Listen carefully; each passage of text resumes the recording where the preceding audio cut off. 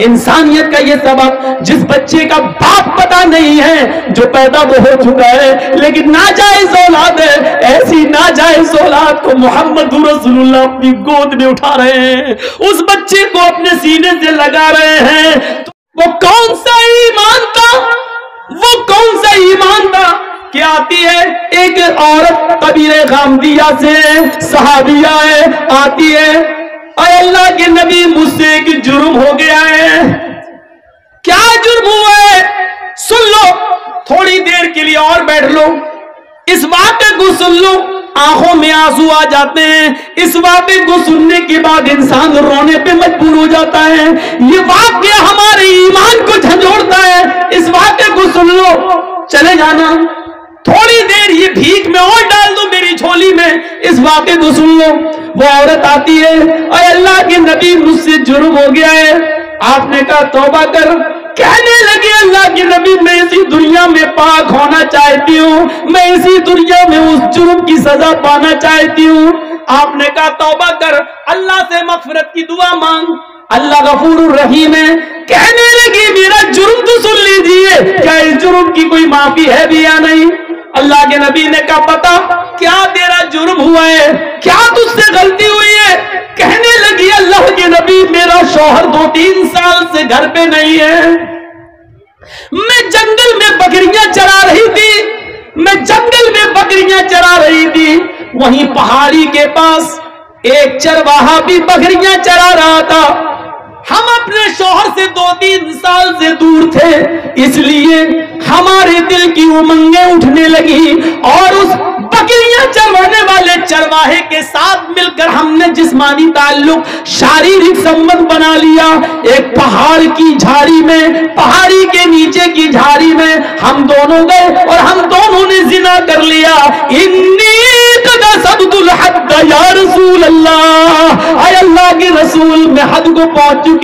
मुझसे इतना बड़ा जुर्म हो गया उस जुर्म की सजा इस्लाम में यह है कि मुझे पत्थरों से मार मार के मार डाला जाए। आप कैसे कह रहे हैं कि अल्लाह से माफ़ी मांग ले, अल्लाह से तौबा कर ले?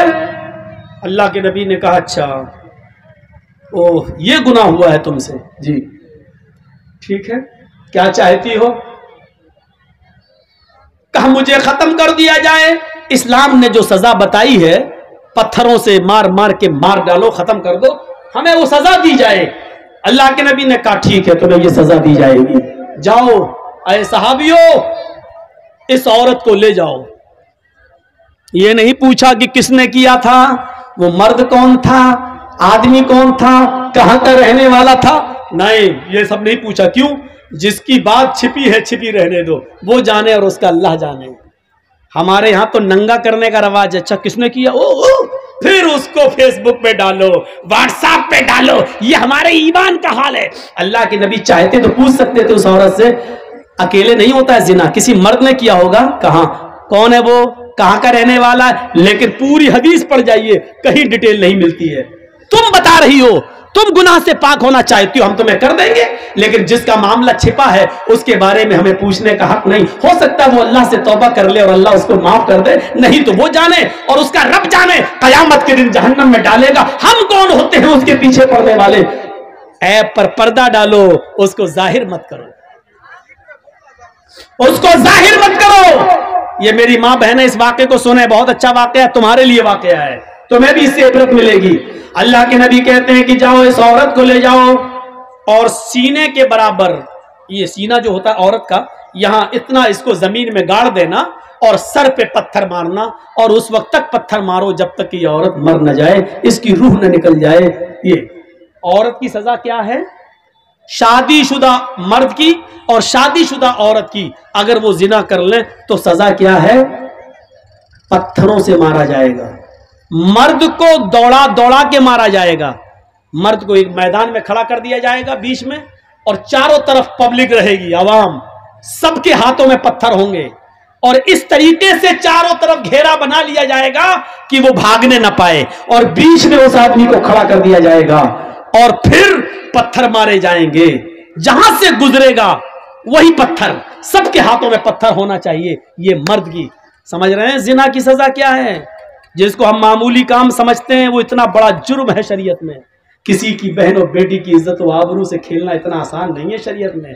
इसकी सजा, जब तुम किसी की इज़्ज़त लूट रहे थे तो तुम्हारे जिस्म के हर हर बाल रोंगटे को, रुए को उसका इंजॉय मिल रहा था, मज़ा मिल रहा था। इसलिए सजा भी ऐसी मिलनी चाहिए कि जिस्म के एक एक रोंगटे को और एक एक रुए को उसका एहसास हो जाए। इसलिए सजा भी इतनी सख्त रखी गई है।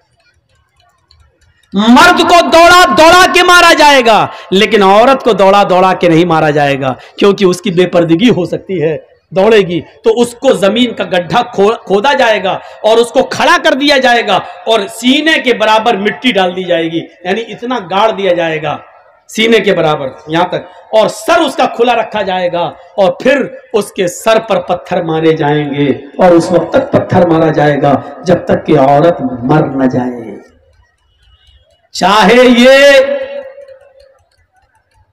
ये रजामंदी वाली जिना है, मर्द भी राज़ी, औरत भी राज़ी और दोनों ने कर लिया। जिना बिल जबर तो जिना होता ही नहीं है। अगर मर्द ने ज़बरदस्ती की तो वो जिना नहीं माना जाएगा। या औरत के साथ अगर ज़बरदस्ती की गई, वो बेचारी नहीं चाहती थी, लेकिन बंदूक रखकर उसके साथ इज़्ज़त लूटी गई तो फिर औरत गुनागार नहीं होगी क्योंकि उसके साथ जबर किया गया। तो फिर मर्द को सजा दी जाएगी, औरत को नहीं। और औरत ने अगर बंदूक रख के गलत काम करवाया, मर्द ने मजबूर होकर गलत काम किया तो औरत को सजा दी जाएगी, मर्द को नहीं। लेकिन मर्द भी राज़ी, औरत भी राज़ी तो दोनों को सजा दी जाएगी। अगर दोनों में से एक कुआरा है एक शादीशुदा तो शादीशुदा को पत्थरों से मार मार के जान से मारा जाएगा। और जो कुआरा था, उसको सौ कोड़े मारे जाएँगे और एक साल के लिए अपने शहर, अपनी बस्ती से बाहर कर दिया जाएगा। उसको गाँव से निकाल दिया जाएगा और अपने गाँव में एक साल तक आने की एंट्री इजाज़त नहीं मिलेगी। सौ कोड़े पड़ेंगे। चमड़े के कोड़े, चमड़े के कपड़े के नहीं, चमड़े के कोड़े। दस बीस कोड़ों में ही वो बैठ जाएगा कराने लगेगा। सौ कोड़े में तो अल्लाह बेहतर जाने, बचेगा भी कि नहीं बचेगा? तो मेरे भाई ये सौ कोड़े! ज़िंदगी भर के लिए फिर उठने के लायक नहीं रहेगा अगर बच भी गया तो ज़िंदगी भर चलने के लायक नहीं रहेगा, उठने के लायक नहीं रहेगा बिस्तर पर। ऐसे सौ कोड़े उसके ऊपर मारे जाएँगे और सौ कोड़े मारने के बाद भी उसको गाँव में रहने की इजाज़त नहीं। एक साल के लिए उसको इस शहर से दूसरे शहर में दाखिल किया जाएगा। उसको अपने शहर में एंट्री नहीं है, क्योंकि उसको देखकर लोग उस लड़की को याद करेंगे अच्छा ये, ओ फला की लड़की के साथ इसने तो उस लड़की की बेजती होगी जिसके साथ इसने रेप किया है या जिना किया है। इसलिए उस लड़की की इज़्ज़त को बहाल करने के लिए सौ कोड़े मार को एक, एक साल के लिए इसको शहर से बाहर निकाल दो। ये इस्लाम ने सजा मुतयन की है। इस औरत को ले जाया जाने लगा। ईमान देखिए ईमान। इस औरत से जीना का सुदूर तो हो गया लेकिन जब होश में आई जब इसको जवानी की गर्मी इसके दिमाग से निकलती है तो सोचती अल्लाह, ये मैंने क्या कर लिया? अल्लाह, ये मुझसे क्या हो गया? अल्लाह, ये मैंने कितना बड़ा गुनाह कर लिया? अब मुझे इस दुनिया में ज़िंदा रहने का हक नहीं है। किसी को मालूम नहीं था, लेकिन इसने खुद अल्लाह के नबी को आकर बता दिया। इसके ऐप पर पर्दा पड़ चुका था, लेकिन फिर भी इसने आकर अल्लाह के नबी को बता दिया। अल्लाह के नबी ने कहा, जाओ, इस औरत को ले जाओ और इसको पत्थरों से मार मार के हलाक कर दो। मार मार के इस औरत को मार डालो। साहबा उसको लेके जाने लगे। पकड़ा, चल, जल्दी चल। उसको खींच लिया, वो गिर गई। जैसी वो काम दिया गिरी, वो औरत ज़मीन के ऊपर गिरी तो उसने अपना पेट सबसे पहले पकड़ा। साहबा ने पूछा, क्या हुआ? क्या बात है? ऐसे चलेगी तो कब तक पहुंचेगी तू मैदान में? कब तुझे मारा जाएगा? कहने लगी वो मोहम्मद के साथियों। सल्लल्लाहु अलैहि वसल्लम।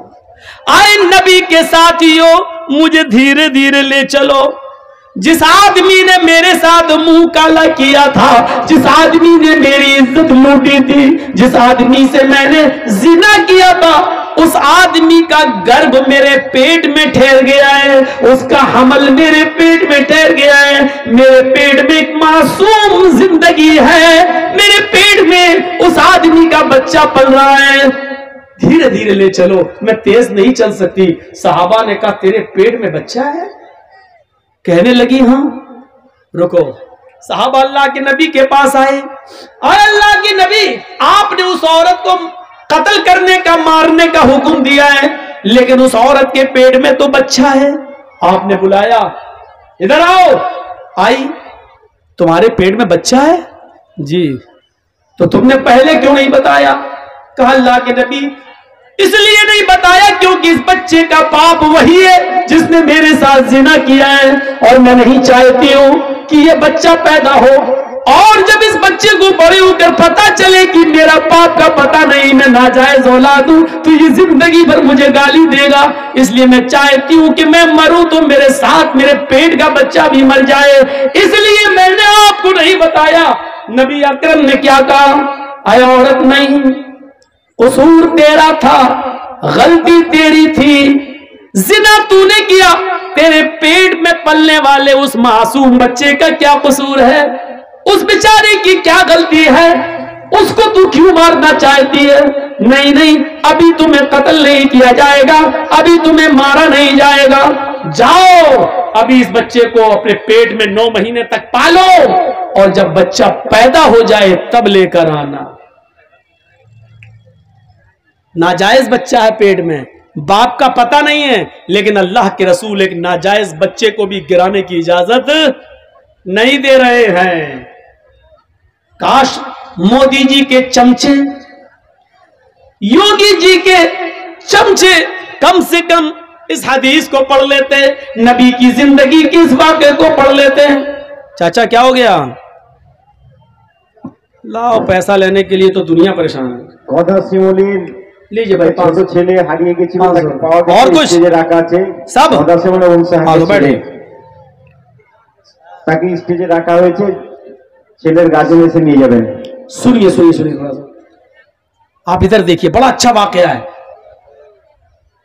अल्लाह के नबी एक मासूम की जिंदगी को कितना प्यार की नजर से देख रहे हैं जबकि मालूम है कि बच्चे का बाप नाजायज ये बच्चा जब पैदा होगा तो हरामी बच्चा कहलाएगा नाजायज बच्चा कहलाएगा लेकिन इसके बावजूद अल्लाह के नबी कह रहे हैं बच्चे को नहीं मारा जाएगा बच्चे का क्या कसूर है इससे ज़्यादा इंसानियत किसी धर्म में मिलेगी? इससे ज़्यादा मानवता किसी मज़हब में मिलेगी? गए, जाओ इस औरत को कहा, बच्चा पैदा हो जाए तब आना। नौ महीने तक अपने पेट में रखती है। जब बच्चा पैदा हुआ दो चार दिन बिस्तर पे लेटती है, चलने के लायक होती है तो बच्चे को लेकर आती है। नौ महीने में अल्लाह के नबी भूल गए कि औरत कौन है।